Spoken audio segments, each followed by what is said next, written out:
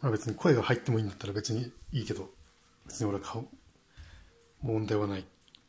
どうもおはようございます。イズログです。今日は大分の先輩ん家にいて、パンツを干してもらってます。はい。じゃあ、やっていきましょうかね。え、これスイッチどれ？オフオフを押して何オフだけどオンになるんだ。新しい。10時間高速に乗って今、ガタガタだけど、はい。体重増えてると思われる。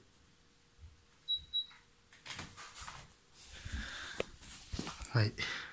90.2。ああ、でもまあ、いいね。